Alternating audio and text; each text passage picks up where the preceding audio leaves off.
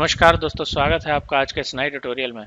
अपने आज के ट्यूटोरियल में अपने स्क्रीन पर बनी हुई जो ये असेंबली आप देख रहे हैं, ये रोलर बियरिंग असेंबली है।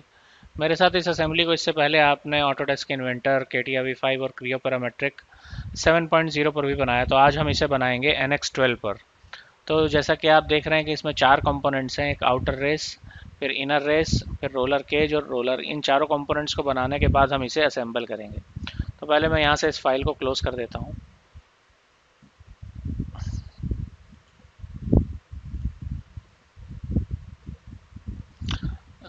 फ़ाइल क्लोज हो गई दोस्तों तो इस वक्त जो स्क्रीन आपके सामने है, ये वो स्क्रीन है जब आप एन एक्स ट्वेल्व के आइकन पर डबल क्लिक करते हैं। एन एक्स ट्वेल्व के आइकन पर डबल क्लिक करने के बाद जो पहली स्क्रीन जो आती है वो ये है। इसके बाद न्यू पर क्लिक किया हमने, एक विंडो ओपन होगी। यहाँ से देखिए, ये मॉडल जो है हाईलाइटेड है। यूनिट भी यहाँ पर आपको मिलीमीटर नज़र आ रही है, यहाँ से हम ओके पर क्लिक करेंगे। एक नई फ़ाइल ओपन होगी इस तरह से। अब हमें प्रोफ़ाइल बनाना है स्केच के लिए। और यहाँ से हमने ये स्केच पर क्लिक किया। स्केच पर क्लिक करने के बाद ये, देखिए एक्स जेड प्लेन लेंगे और यहाँ से दोबारा कंफर्म किया और ओके कर दिया। तो ये स्केच ओरिएंटेशन में घूमकर हमारे सामने आ गया। अब यहाँ से ये लेंगे प्रोफ़ाइल और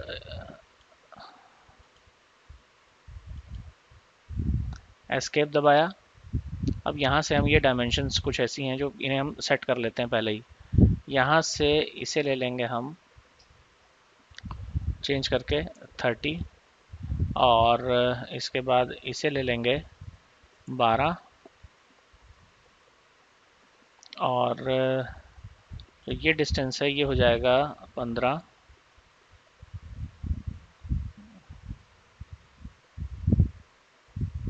अब इसके बाद आगे की प्रोफ़ाइल हम बनाते हैं।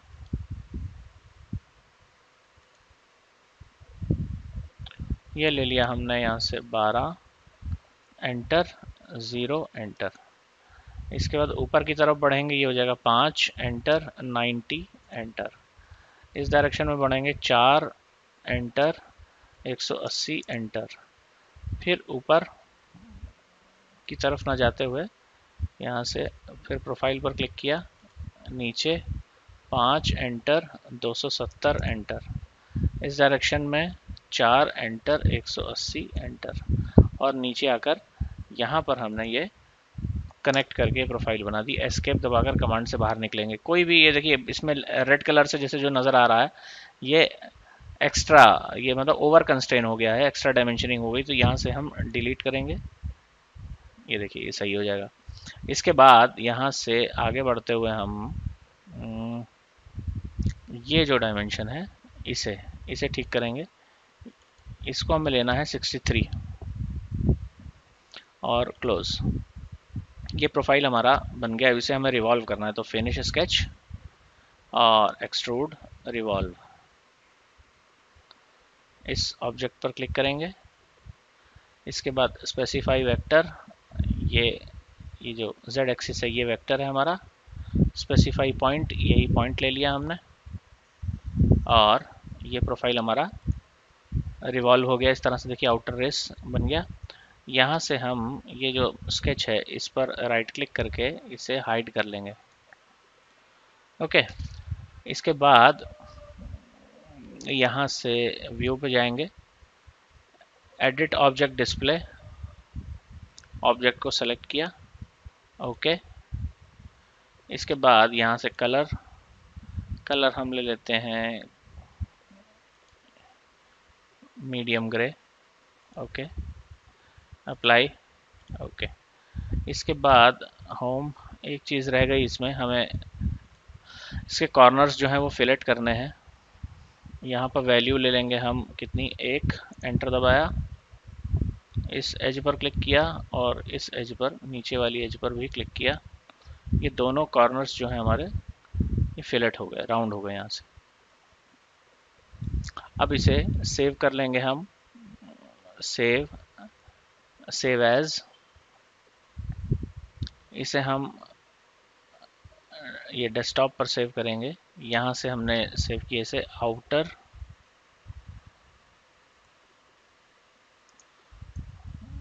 race R B one और ओके ये ऑब्जेक्ट सेव हो गया। अब हम नई फ़ाइल ओपन करते हैं यहाँ से। कैंसिल किया इसे। और न्यू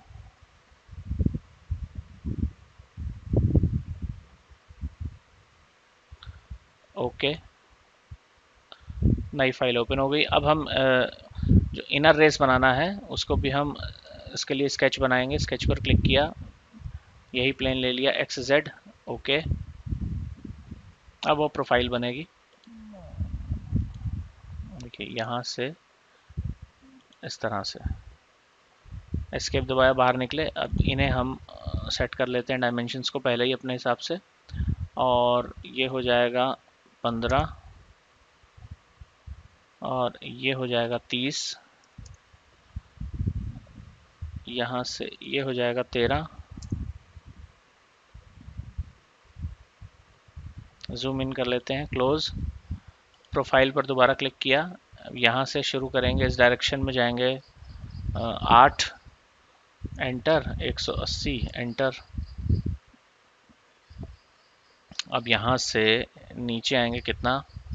25 एंटर सॉरी 25 एंटर और 270 एंटर तो ये पीछे चला गया। एस्केप दबाया कमांड से बाहर निकल आते हैं, दोबारा जाएँगे हम प्रोफ़ाइल में. यहाँ क्लिक किया, नीचे आएँगे. 25 एंटर और 270 एंटर ये लाइन नीचे की तरफ़ आ गई। लेकिन इसे चेक करते हैं कि ये हाँ कनेक्ट है ये। इस डायरेक्शन में जाएँगे। पाँच एंटर 180 एंटर इस बार नीचे, यहाँ, इस पॉइंट से कनेक्ट कर दिया। ये प्रोफ़ाइल भी बन गया। अब जो रेड कलर से डायमेंशन दिखाई दे रही है, यहाँ पर कर्सर को लेकर जाएँगे राइट क्लिक करेंगे और डिलीट पर क्लिक कर देंगे। इस तरह से देखिए प्रोफ़ाइल ये कंप्लीट हो गया। अब फिनिश स्केच फिनिश स्केच के बाद एक्सट्रूट के नीचे रिवॉल्व है, उसे यूज़ करेंगे। स्केच पर क्लिक किया पहले हमने। स्पेसिफाई वेक्टर वेक्टर ये ले लिया जेड एक्सिस स्पेसिफाई पॉइंट यही ओरिजिन ले लिया और अप्लाई इसके बाद ये कैंसिल पर। यहाँ से एज चैम्फर ले लेंगे। वैल्यू देंगे दो एम एम दो टाइप करके एंटर प्रेस किया। ये एज पर क्लिक किया और ओके ये जो कॉर्नर था ये, यहाँ से चैम्फर हो गया। ये स्केच पर गए राइट क्लिक करके हाइड कर दिया इसे। इसके बाद view edit object display select object okay colour वही वाला मीडियम ग्रे कलर लिया हमने। यहाँ से जो हमने आउटर रेस के लिए लिया था अप्लाई ओके ये इनर रेस भी तैयार हो गया यहाँ से। फ़ाइल सेव सेव एज यहाँ पर inner race R B one okay ये कंपोनेंट भी हमारा सेव हो गया। अब यहाँ से कैंसिल किया इस फ़ाइल को क्लोज कर देते हैं। अगली नई फ़ाइल ओपन करने के लिए फिर से न्यू पर क्लिक किया।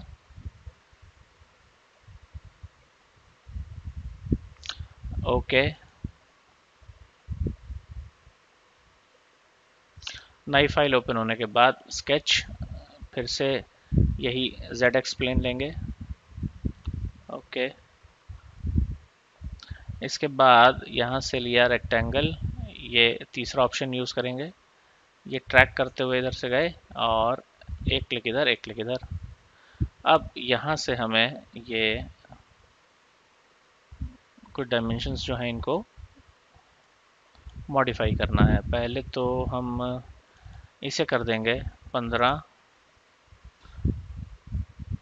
और ये हो गई अपने आप ही तीस।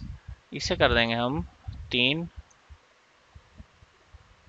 ओके, और ये जो डायमेंशन नज़र आ रही है, यहाँ से क्लोज किया पहले, ये जो नज़र आ रही है, इसे हम कर देंगे कितना?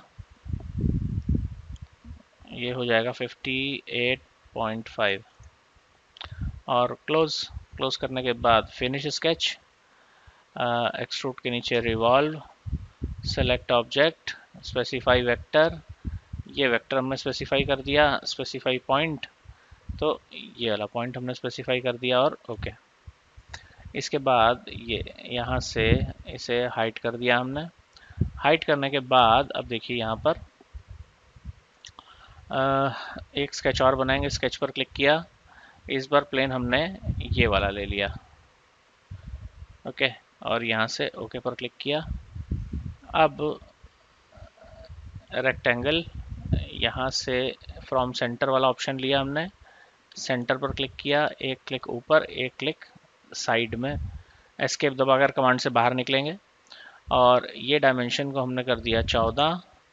और इसके बाद जो ये हमें नज़र आ रही है, पहले यहाँ से क्लोज कर दें। ये देखिए, ये डायमेंशन जो नज़र आ रही है, इसे कर देंगे हम 20 हमें एक स्पेस बनाना है जिसमें हम रोलर को फिट कर सकें। उसके लिए हमें पहले कट बनाना होगा। तो कट बनाने के लिए ये प्रोफ़ाइल बन गई रेक्टेंगुलर इसके बाद यहाँ से एक्सट्रूट कमांड को लेंगे।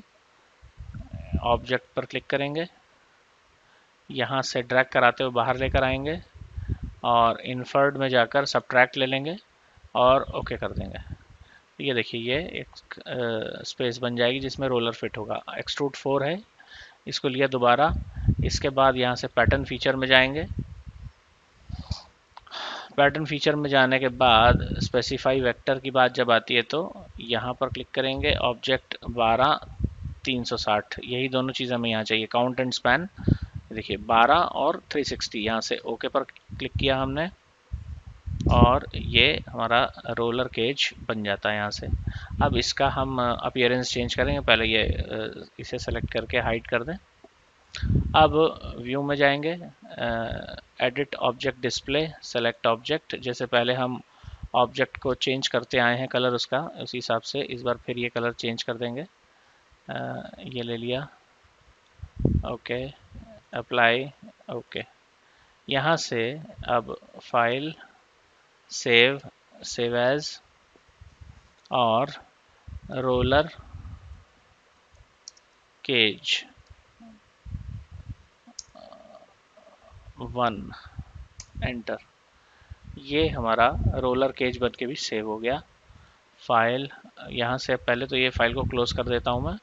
नई फ़ाइल ओपन करेंगे, इस बार हमें रोलर बनाना है। आखिरी कंपोनेंट जो हमारा रोलर है। न्यू पर क्लिक किया, नई फ़ाइल ओपन होगी अभी। यहाँ से ओके पर क्लिक किया। अब देखिए, नई फ़ाइल ओपन हो रही है। यहाँ से स्केच। प्लेन इस बार ले लिया हमने यही, जो अभी शो हो रहा है हमें। यहाँ से अब हम एक सर्कल बनाएँगे यहाँ पर। ये सेंटर मार्क किया, एक क्लिक बाहर, एस्केप दबा के बाहर निकले। इसके बाद ये जो है, इसे चेंज करके कर देंगे हम चौदह और क्लोज। इसके बाद uh, एक्सट्रूड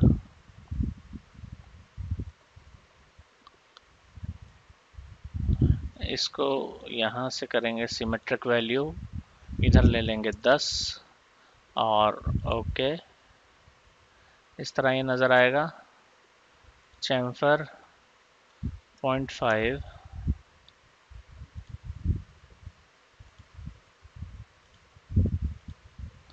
इसके बाद व्यू एडिट डिस्प्ले और okay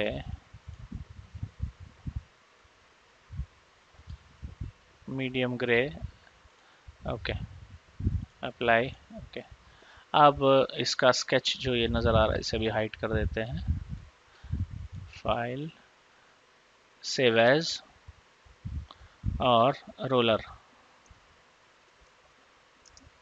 वन ओके तो दोस्तों, ये चारों कंपोनेंट बना के हमने सेव कर लिए अब हम इन्हें असेंबल करते हैं। यहाँ से क्लोज किया मैंने इस फ़ाइल को।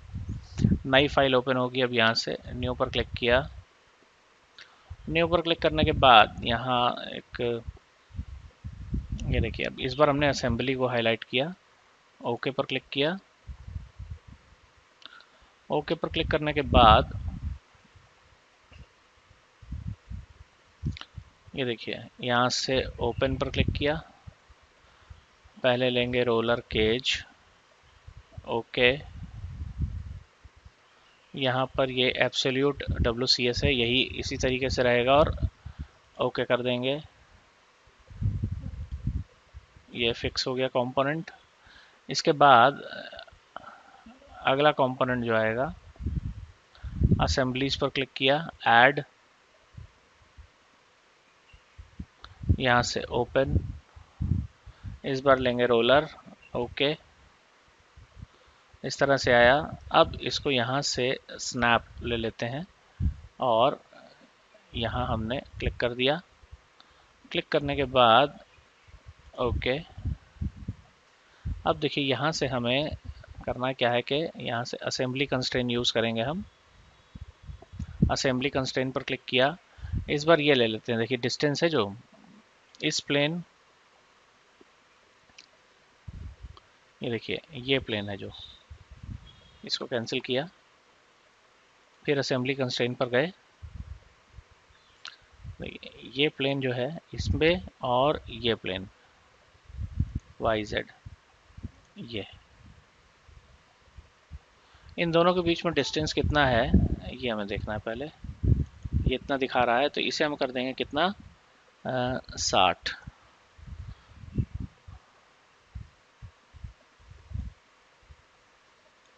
इसे हमने कर दिया साठ। अप्लाई। इसके बाद दोबारा, ये देखिए, इस प्लेन और इस प्लेन के बीच का जो डिस्टेंस है, ये आ रहा है इतना करीब। इसे हमें करना है कितना? इसे करना है हमें ज़ीरो। ये देखिए, बिल्कुल फिट हो जाएगा। यहाँ से अप्लाई पर क्लिक किया।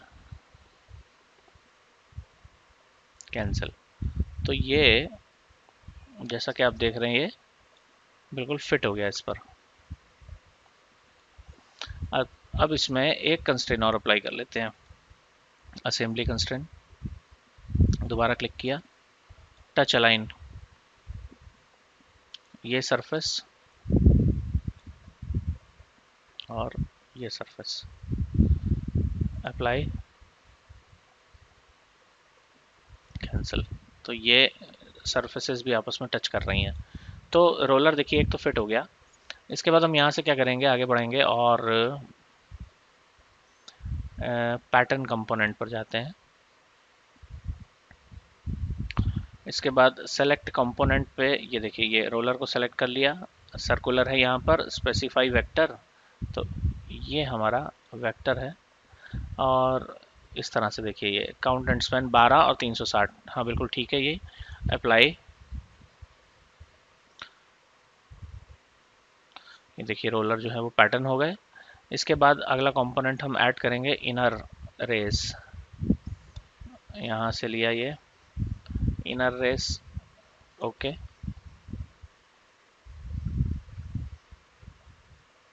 एब्सोल्यूट की जगह डब्ल्यूसीएस इस तरह से देखिए, दिखाई देगा। अप्लाई और ओके ये देखिए, बिल्कुल अपनी जगह पर जाके ये सेट हो गया।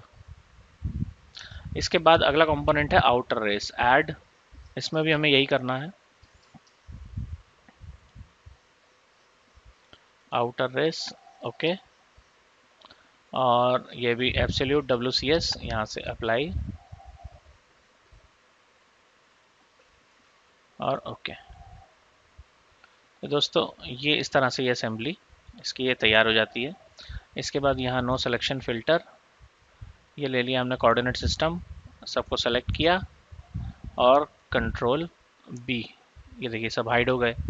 इसके बाद हमने लिया स्केच पूरी असेंबली को विंडो बना के इसमें सेलेक्ट कर लिया और कंट्रोल के साथ बी प्रेस किया। सारे स्केचेस जो नज़र आ रहे थे गायब हो गए। इसके बाद हम लेंगे यहाँ से असेंबली कंस्टेंट सेलेक्ट किया कंट्रोल के साथ बी ये देखिए वो भी गायब हो गए। तो दोस्तों, ये थी roller bearing assembly in N X twelve. अगर आपको दोस्तों ये वीडियो पसंद आया तो प्लीज़ इसे लाइक करें, इसे ज़्यादा से ज़्यादा शेयर करें और मेरे चैनल को सब्सक्राइब करने के साथ साथ मेरे वीडियोस के नोटिफिकेशंस सबसे पहले पाने के लिए बेल आइकन पर क्लिक करना ना भूलें। और इस वीडियो से रिलेटेड आपकी कोई क्वेरी हो तो प्लीज़ उसे कमेंट सेक्शन में डालें। Thank you very much.